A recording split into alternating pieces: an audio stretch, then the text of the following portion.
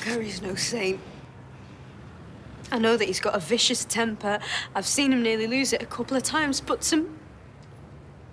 to murder my dad, why, why, why, why would he do that? He told me Rick had threatened Sarah and the kids.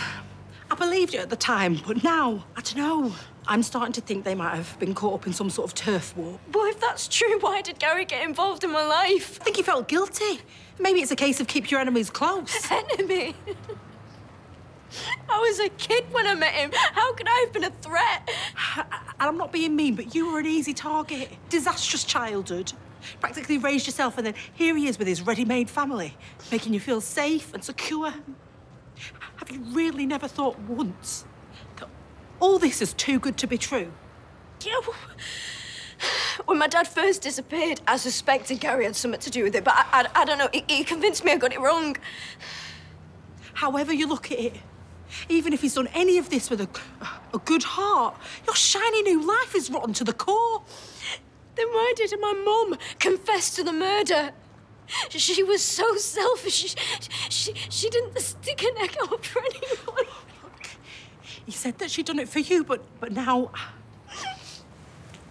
I don't know. I, I, I think he might have coerced her into it. I bet she didn't realise she'd done a deal with the devil. But he pretended to welcome you with open arms.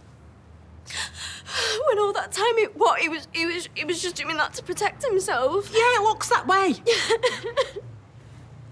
Gary came to my dad's funeral. He stood next to me when I said goodbye. And he was like, we're here for you. You're part of this family now. He had tears in his eyes. He's a very good liar.